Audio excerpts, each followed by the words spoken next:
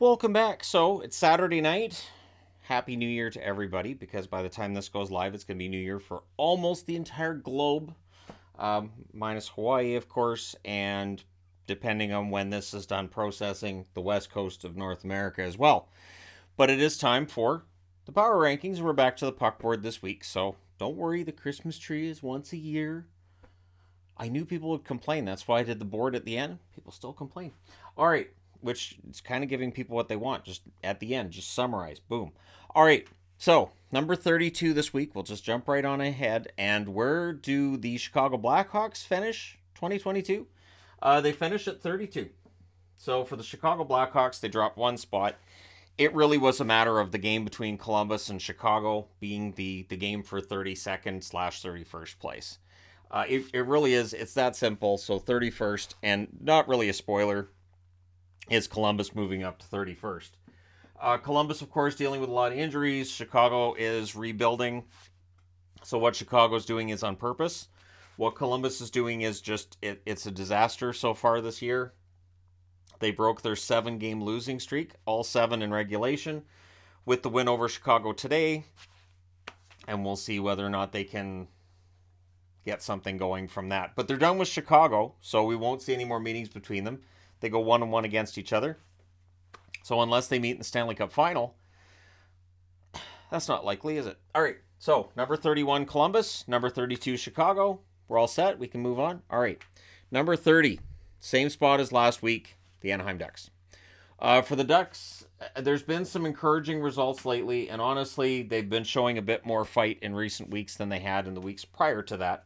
Uh, they're no longer last on the board, but they're not winning often enough to move up either. So uh, I have them at 30th. Although that being said, there is a team that may very well fall beneath them. There's two that could actually fall beneath them before. I would say two weeks from now, I could see if Anaheim keeps playing the way they are, and there's there's definitely that fight there. Uh, Adam Henrique playing really well for them right now as an example, but yeah, I could see them moving up just because there's a couple teams that are really having a hard time when it comes to winning. And so, yeah, uh, that's going to change the complexion of the board. But the teams that were expected to be at the bottom are starting to fall to the bottom. Uh, number 29 is an example of that, dropping one spot from where they were last week, the San Jose Sharks. So, yeah, see, there you go. Another another of the reverse retro pucks. Uh, I had to get Sharks because you kind of have to get Sharks, don't you? Is it's the Seals puck. It's a Seals look. And it makes sense they're doing a Seals throwback because the California Seals were known for a couple of things and not for winning. Uh, but they, they did have a number one draft pick that they traded and became Guy Lafleur. So if San Jose gets the number one draft pick, don't trade it to Montreal. Uh, Montreal may end up getting it by themselves. They may get it legit, but uh, yeah, for for the Sharks, uh, this this has been a really rough year. Uh, the game in Dallas is a good example. They had good moments during that game. They had moments where it looked really good and then it would just fall apart. So for San Jose, there's some reason to think you don't have to throw the whole team out necessarily, but they're they're not a playoff team at any by any stretch. All right, number 28, uh, dropping two spots from last week, Montreal. Uh, for the Habs, this this season is just absolutely turned on its ear. Uh, this road trip that they went through this week, um, and of course it, it extended over the Christmas break not great. Uh, it's it's a road trip that really has taken them out. I can't wait till Vancouver follows a similar route uh, through these these locations. But at any rate, uh, for Montreal, yeah, uh, if there was any thought that maybe they'd stay in the race, I think that's been vanquished. They're now four games below NHL 500, and in the East, you just can't be. You can't be that far back. You can't be that far under. And you can see the frustration with Marty St. Louis too. And I feel bad for him because I think he's a good coach. I think he's done a good job with Caufield. Caufield could score 40 goals this year. That to me is a success. And he kept them in the hunt for longer than anybody expected. So hopefully St. Louis doesn't get too frustrated and realizes it's a process. It's not always a lot of fun, and he's doing a good job. And for Montreal, it's been a rough week this week for them. So they're down to 28. Uh, number 27, moving up two spots from last week, the surprising Philadelphia Flyers. Um, going through California, they get the win over San Jose, and then they get the win over LA today. And so, yeah, we'll see if if there's some upward momentum here. One thing with them being coached by John Tortorella and the systems he's putting in place, he is getting more wins out of them than I think another coach would. So for Philadelphia, yeah, they end up moving up in part because Montreal had such a miserable week, in part because San Jose didn't have a better week either, and in part they did beat San Jose, so they end up ahead of San Jose. But you know, we'll see if Philadelphia at the very least stays competitive. And for Tortorella, it's it's really important to get wins out of these guys no matter what the status of the team is, and I admire him for that. I do. I admire that he's trying to squeeze out as many wins as he can. Now, in the end, could it end up hosing Philadelphia out of a really good draft pick? Yes. Would that make Flyers fans angry? Also, yes. But I, I understand what he's doing because he, he doesn't want to lose. Number 26, uh, dropping one spot from last week, the Vancouver Canucks. Uh, the Canucks, of course, one step forward, two steps back is just how this season's gone. Uh, JT Miller's season has gone from okay but poor defensively to an absolute unmitigated disaster. Uh, the one thing with that though is that I think he's a lightning rod and everybody's focusing on him. When he's not the only problem, is he the bigger problem? Sure, yes. But for Vancouver, there's there's a lot of issues with this team, and yeah, they're not making the playoffs. It's not going to happen, um, and so they're they're going to have to do something. And the funny part is that people talk about they should trade Miller. Right? Yeah. Anyways, uh, I could do a video on that. I have no problem with that talking about contracts it would be very difficult to trade. There's one in San Jose I can think of that there's rumors of, oh, Karlsson's going to get traded. Where? What? What? No. So, because the cap's still a thing. The cap wasn't a thing, sure, you could trade any contract. But for Vancouver, they're really in in in, in a trouble now, and the Jan- January schedule is uh, it's brutal. I do not expect Vancouver to get out of the bottom row in January. Uh, number twenty five, moving up two spots from last week, Arizona. The Coyotes are staying in this, and I, I'm I'm not sure how far they go with this. I'm I'm not sure if Arizona can actually dig their way back into the playoff hunt, but at least the games are good. At least they're playing well at home, and against Tampa, they put a scare into them for the first first two thirds of the first period, and then Tampa Bay got it going. But if you don't outwork Arizona, as Toronto found out this week, they can beat you. So for Arizona, uh, they're playing with house money. There's no pressure on them whatsoever. And there's some guys who have definitely increased their value. Jakob Chychrun is going to be worth a mint at the deadline. Uh, he has played really well for the Coyotes and is a big part of the reason why they keep moving up the board. Uh, number 24, same spot as last week, the Ottawa Senators. Uh, the Senators, again, uh, they, they look good, they have good games, and then they lose and then you know they'll they'll have good moments in some other games, and then they just they end up with a loss. Uh, if they they win a big game, the losses will follow. It's just it's been rough. So while for Vancouver it's been basically a disaster, for Ottawa there are reasons to be encouraged, which makes it even more frustrating, I would think, for the Ottawa fans, because this isn't a team that's bad enough to be 24th overall, but the results tell you that that's where they're at. So uh, for Ottawa, I'm not sure how you fix this. They went out and got some guys in the offseason that have actually played really well. I, I, guess you just keep going steadier as she goes, and and maybe you make a change behind the bench, but I, I don't know that that's going to happen during the season. Number 23, and, and a bench boss who might be feeling the heat is John Hynes in Nashville. Um, one thing that I thought was interesting was today when Nashville, when watching the Nashville Vegas game, and I'm watching the Nashville feed, and you hear an announcer saying, Well, the coach doesn't know what the problem is why guys aren't scoring goals the way that they're supposed to. Well, you don't want to hear that. You don't want to coach. I don't know what the problem is. So now, whether that was just an off the cuff remark or not, it really caught my ear because that's kind of the coach's job is to figure out what's going wrong. So uh, for Nashville, a team that's you know one game above NHL 500, but they're not winning very regularly. They've got what three wins in their last 11. Uh, it's it's been a tough go. So we'll see if getting a point in Vegas helps spur something. But I've been waiting for the, them to really uh, get spurred on and get better, and it just hasn't happened. So Nashville finishes 2022 much lower than expected at 23rd. I would have expected them to be about in this range on the board at the start of the year. Just hasn't happened. Uh, number 22, dropping two spots from last week, the Detroit Red Wings. Now, Detroit has the comebacks, they have the victories.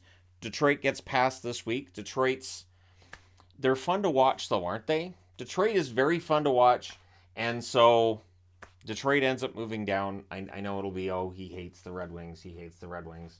This is why you know he hates them.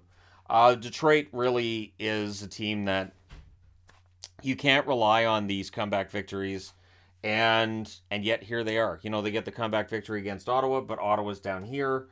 And so, yeah, I'm gonna wait. We're gonna wait and see if if Detroit can can keep this up. But yeah, they end up at 22nd this week. I know people aren't gonna be happy with that. Number 21, same spot as last week as Florida. Florida does move up. They don't move down. Uh, Florida, really frustrating to watch Florida this year.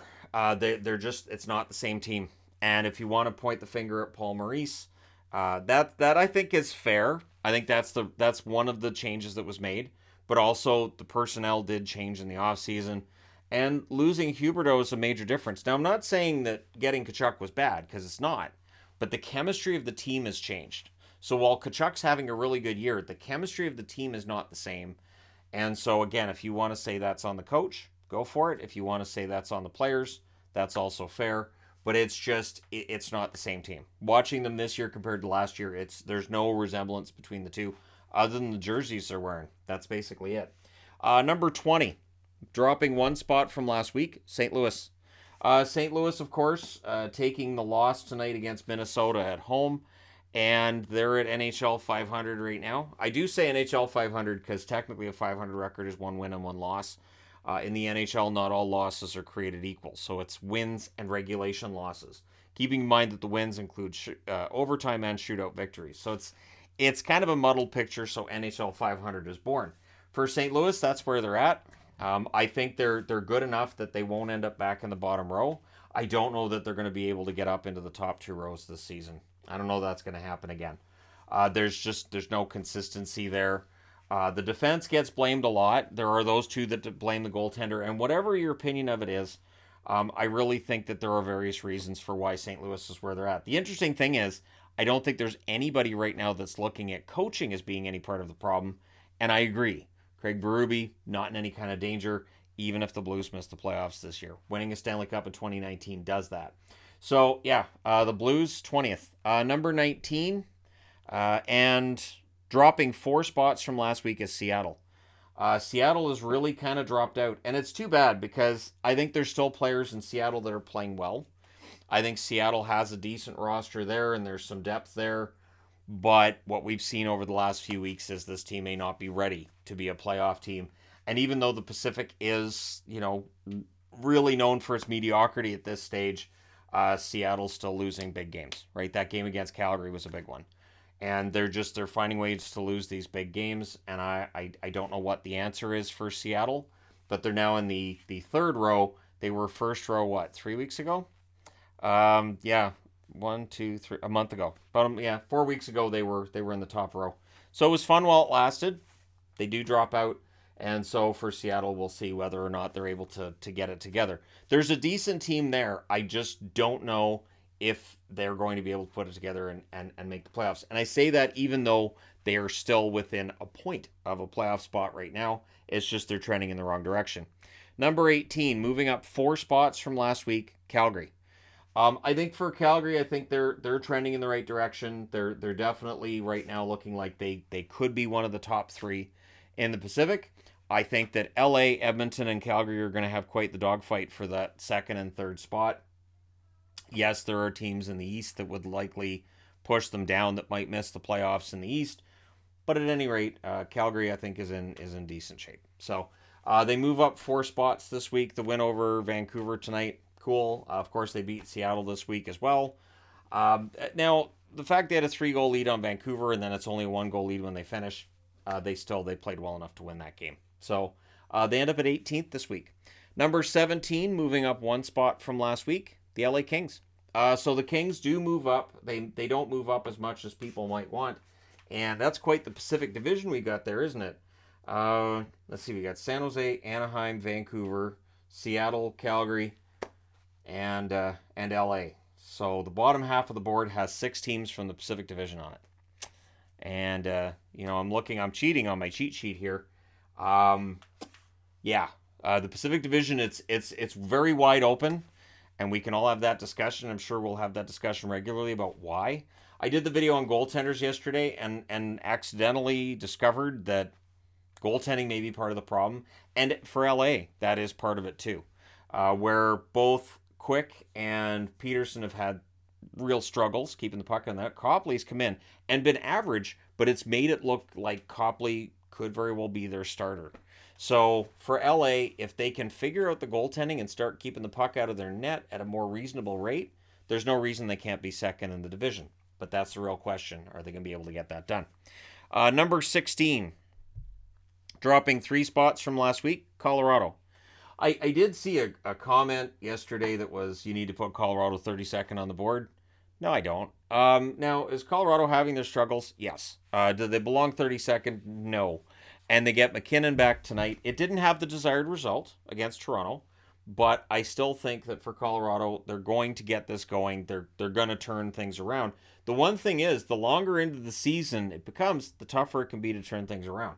So for Colorado, uh, they're 16th on the board. They're still in the top half, but there is some danger that Calgary could pass them, LA could pass them, and if Seattle has a good week, they could as well. Um, it's a busy month in January for most teams, so this board could change a lot between now and the end of January. But yeah, so Colorado ends up 16th. Uh, number 15, moving up one spot from last week, is Edmonton. Uh, so for the Oilers, they had the setback tonight against the Winnipeg Jets. I didn't penalize them for that. I thought they played well. That was just Hellebuyck went in and stole one. So for Edmonton, the the point streak for Mc, for McDavid ended tonight. It stops at 17 games. Uh, so he'll just start a new one in the next game, and we'll act like we're surprised by it. But yeah, for the Oilers, there's no reason they shouldn't be a playoff team. They're only four games above 500 right now, uh, but that's still better than they've been most of the season. And so, yeah, I, I think they're trending in the right direction. I don't read a whole lot into that setback against Winnipeg. And so they still end up keeping that 15th spot. They didn't move up or down based on that result today. Uh, number 14, moving up three spots from last week, Buffalo. Yeah, the Sabres are in the top half of the board. Now, the problem for the Sabres is they're in the East. This is the big problem. And you can't make an argument that a team based in New York, even if it's Western New York, belongs in the Western Conference. If they were in the Western Conference, we would be talking about Buffalo as a potential playoff team, right? But they're not. Now, the thing is, Buffalo's won eight of their last 10, and they've won six in a row. And they went in and they won in Boston. Now, it was in overtime, but still, they won in Boston. And Cozens stealing the puck off Bergeron. What? So, yeah, Buffalo is, I think they're legit. I don't know which team above the playoff line in the East they push out, but I, I do think that Buffalo could very well push their way in. It's not a matter of figuring out who's going to drop out. Just as long as Buffalo's winning eight out of 10 games, they're going to force their way into that conversation. And they just look really good. Luukkonen's been really good in net. So when Comrie's back and he got sent down today for a conditioning stint, I think Comrie ends up on the market. I, I don't I don't think you move on from Luukkonen, and I certainly don't think you move on from Anderson. They've both played really, really well. So yeah, Buffalo's got some decisions to make if they want to stay in the hunt. I, I think Luukkonen and Anderson need to be the goaltenders. Um, moving on to number 13, dropping two spots from last week, New Jersey. This would have been worse for the Devils if not for the victory over Pittsburgh. The victory over Pittsburgh prevents them from being I'll say 15th on the board if they'd lost that one against Pittsburgh, because Buffalo would likely be ahead of them and Edmonton as well. Uh, that being said, for New Jersey, the win was a big one over Pittsburgh. We'll see if they can do it again tomorrow. They are at home against Carolina. So they're the team that could end that winning streak for Carolina. We'll see if that is in fact the case. Uh, but New Jersey, I thought, played well against Pittsburgh. If they can play that kind of game again, if they can get decent goaltending, there's no reason to think the New Jersey Devils won't look back at December as that month that was awful, and then things get better from there, right? Um, I had mentioned when I did the video on things going well for New Jersey that December would be a a big test and that they had some really big games coming up and and and there were there were definitely some tests there, but yeah, January can't be worse than that, right? Right? They have to be turning it around now. All right. That being said, moving on to number 12 Number 12 on the boards right here behind the microphone, so it was hidden. Moving up two spots from last week, the New York Islanders. Uh, the Islanders getting wins when they need them. Uh, the goaltending, of course, is stellar with Sorokin in net. I think you can make an argument for Sorokin to win the Vezina Trophy. Uh, I do think that Ullmark would have a lot to say about that, but I think Sorokin's right there with him. And Sorokin was the one that last year probably did get a bit disrespected in Vezina voting. The interesting thing is, the Vezina is voted on by general managers, so you can't blame that one on reporters. You can't blame the press for who wins the Vezina. You'd, you'd have to go to the general managers. Um, and, and then they'll fire you, and then you have to explain you don't actually work for the team. they'll fire you anyways. Uh, but yeah, the Islanders move up a couple of spots. They're in the hunt, and really, the East is an absolute dogfight, right? You've got all these teams right near one another. It, it's going to be a lot of fun to see how this works out in the second half of the season. Number 11, dropping one spot from last week, the New York Rangers. Uh, hot streak got broken for them. Uh, we'll see if they get another one started. Uh, and again, you've got the Rangers, the Islanders, the Devils, all right next to one another. So, yeah, uh, the board is telling you uh, the Metro is really something to watch right now. And then again, when you look at the goalie board that I did yesterday, six out of 10 or six out of eight teams in that division uh, with goaltending above the 900 mark, best in the National Hockey League. That these teams are all at over a 900 save percentage. And the Rangers, uh, even though Shesterkin's numbers have dropped off, they're not bad. And Shesterkin could very well have a monster second half. So uh, don't count out the Rangers. I, I really think there's there's uh, some some peril if you're going to count out the Rangers. Right now, they're technically below the playoff line, but everybody's got 44 points, and it's because they have less regulation wins. So that's how that works. Uh, just imagine if that's how it works at the end of the year that a team misses the playoffs because they have less regulation wins. Uh, might might make a fan base kind of angry. Uh, it also that also would lend itself to this play-in idea that people have that I don't think is going anywhere. Uh, number 10, dropping two spots from last week, the Jets. Uh, the Jets, it's been a bit of a, a, tougher tougher go for them lately. Now, they won tonight against Edmonton. Big win there. Uh, however, that felt like it was a steal for Hellebuyck. We'll see if they can build on that and get some momentum going. Uh, so for the Jets, the good news is they won enough games and they had enough points that they have a nice cushion for when they have this downbeat during the season, right? So I still think the Jets are a playoff team. I think they're still gonna. I think they're gonna stay in the mix for that that division title into the second half of the season. And whether they get in or they don't, as a division winner, uh, I think they're a playoff team, and I think they're going to be dangerous in the playoffs too. This is a team that's deep. This is a team that's dealt with a lot of injuries, and they've still managed to keep their head above water. If they tend to get healthier as the second half of the season goes along, and that's always an if because you'll say you'll have the oh well this team's going to get healthier. Not necessarily. You get guys back, other guys get hurt. Some years it's like that. Ask Vegas. So yeah, Winnipeg number ten this week. We'll see if that's the lowest they get. Number nine, moving up three spots from last week, is Washington. So for Washington, it's been quite the run. They went from 21st to 15th to 12th, and now they are ninth on the board. So they're almost top row. Very, very close. And if they keep playing the way they have been, they're going to be top row next week. Of course, uh, the the win over Montreal, a team that's in free fall, you don't want to read too much into that. But the good news is this: Ovechkin's now past the Gordie Howe mark, and he seems more relaxed now. I think that was weighing on him a little bit. So he gets a hat trick today, and uh, the goal scoring, you know, if it's going to pick up for him, he's already on a 50 plus goal pace. That's just scary for the rest of the league. So uh, for Washington, who are going to get Wilson back, they're going to get Backstrom back they could be a very scary team again come second half of the season. And uh, yeah, so rumors of their demise were greatly exaggerated. Uh, number eight, dropping four spots from last week, Pittsburgh. Now, there will probably be calls that Pittsburgh should be lower because that's the way this works. When I have Pittsburgh higher up on the board, people who don't like Pittsburgh or people who think that Pittsburgh's too high will speak up. When Pittsburgh drops and when they're in this area of the board or even down in here, Pittsburgh fans will pipe up and go, no, we belong higher. And that's how it works. Pittsburgh seems to be the team that generates the most discussion. I'll put it that way in the comment section. Um, but for Pittsburgh, I have them at eight this week. They dropped four spots. So if they have another week like this one, they could be as low as 12th. But look at this uh, Metro, Metro, Metro, Metro, Metro. 8, 9, 11, 12, 13.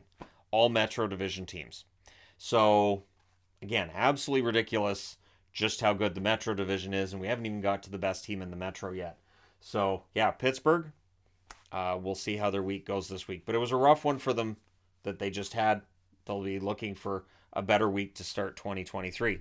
Number seven, same spot as last week, Minnesota. Uh, so the Minnesota Wild have had a really good run going on, and again, they're they're one of the teams too that I've seen people commenting they're too high. Nope. Um, I I really honestly feel that Minnesota at seventh is the right spot for them. Uh, they go in, they beat St. Louis today. In the end, they kind of made it look somewhat easy, uh, but I think that was the hard work. And now Hartman's starting to round into form. So uh, Ryan Reaves has fit right in with that fourth line. It has changed the complexion of that team in a positive manner. Uh, and that's the thing with Reaves. When he's deployed by a team where he fits, it helps. When he's deployed by a team where it doesn't quite fit, it can be a real detriment. But right now, Minnesota, everything's firing on all cylinders. And Marc Andre Fleury's numbers have turned around too 29 saves today on 31 shots. That's a pretty good night.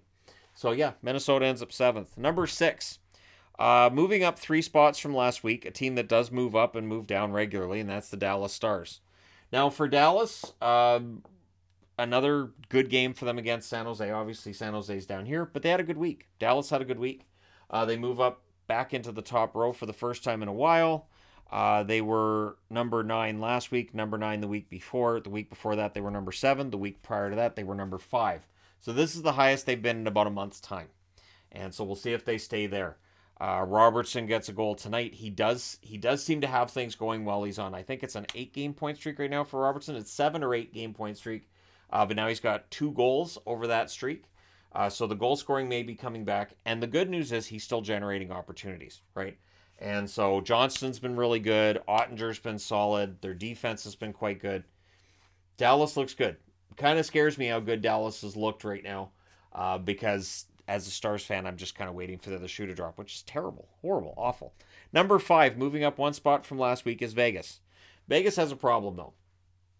Vegas has got their home game in order. They've started winning games at home. Their home record's getting better. Now it's the road where they're starting to have trouble. So Vegas is, I mean, they're not home and cold at the top of the division, but they really kind of sort of are. Um, the debate about whether or not they're the best team in the West is going to be out there, I would think, until the playoffs. There's going to be debate about whether or not they have a good record because of their division. There, there's some truth to that. There's also some numbers that might point the other direction. Um, I have done videos where I've talked about you know Pacific Division teams and the records against the other conference, and they're not as bad as one might think. Uh, but yeah, for Vegas, they're number five on the board. We'll see for how long. Uh, Dallas, Minnesota, and I would say Washington might be good bets for the next team to end up fifth on this board if Vegas does drop. Washington could make a big jump next week, depending on how they do. Uh, number four on the board, uh, dropping two spots from last week is Toronto. Uh, for Toronto, it really is. It's it's that consistency game to game, and just I felt like this week there are three teams that belong ahead of them. It is not an insult to Toronto to have them at fourth. They're still one of the better teams in the league. The win over Colorado was a fantastic bounce back after a rough night against the Arizona Coyotes, where they allowed a season high six goals. This is a team that, despite injuries on the blue line, has been quite good. And so, yeah, uh, we'll see whether or not Toronto uh, has a really good week coming up and ends up forcing their way further up the board. But I felt like fourth was the right spot for them. So the, the win over Colorado did not bump them up past the three teams ahead of them on this board. Number three, moving up two spots from last week, is Tampa. Tampa's another one that I get told I have too high on the board. They're not playing that well, yada, yada, yada. Uh, but they are. They are playing well. Uh, tonight they get down 2 nothing against Arizona, a team that makes you work for it. And so they worked for it. They score five of the next six, and they win the game five to three. Vasilevskiy's playing really well. I got into the numbers on the advanced stats yesterday. Both Vasilevskiy and Elliott are giving them very good goaltending. And so, yeah, Tampa Bay is a team that I don't see a lot of weaknesses there. And that's despite them losing McDonagh for cap reasons in the offseason. Because you have to stay under the cap. Yes, they do. You, nope, they do. That was only that one time. Uh, so for Tampa Bay, they moved back into the top three. I do expect people to say they're too high, but that that happens. Uh, so yeah, Tampa Bay after a drop uh, because they've been fourth, second, and then fifth last week, they're back up to third. So they've been all over. The only number they haven't been this season, I don't think they've been first. So third spot for Tampa Bay. Number two, dropping one spot from last week, is Boston. And really, it comes down to uh, there's two factors in this. One, the loss at home against Buffalo, and just minor little quibbles. And when you're looking at the difference between team number one and team number two, there are very minor differences. Boston's still playing really well. I thought Buffalo went in and stole one today. It was a great game for the Sabres. I thought Boston fought back in that one nicely, and then Buffalo fought back. It was just such a fun game. Uh, I didn't even get mad at the result. I didn't get mad at all when Buffalo scored in overtime. I didn't get mad that they stole the puck off of Bergeron to get it done. I, I thought it was a great result overall for Buffalo. And I, again, Boston just drops one spot. Why? There's a team in the league that has had points in 16 straight games, and they're number one. Carolina's number one on the board. Uh, for the first time in a while. Now, I, I don't know whether, I don't think they've been number one on the board this season. I don't think they've been number one on the board this season, and I don't know if they've been as high as number two. They started the season at third, third, fourth, fourth, and then they're up to third, down to fifth, stayed fifth. Then they dropped off to 11th, and they had a tough time there for a while with winning games in overtime. Uh, then they were ninth, eighth, seventh. Last week they were third. This week they're first. Um, and I know there's people too that wanted them to be higher on the board sooner, but that's not really how the board works. Uh, the the way that I, I I put this board together and the way that I decide on who moves up and moves down from day to day, and it is a day to day thing. Uh, it is not meant to have these dramatic shifts one way or the other. As long as a team is playing really well, uh, they will move up, and if a team's not playing well, they will move down. Uh, it's just it's not like a really quick process. But Carolina, I believe, has earned that spot at number one. We'll see if they stay there next week or not. Let me know your thoughts in the comments section below, as always. Don't forget to hit like and subscribe if you're browsing your way through, you just happened upon this video. Thank you guys so much for watching, for all your support. I hope you had a wonderful 2022, and I hope you have a fantastic 2023. Thanks again for all your support. I will talk to you again soon.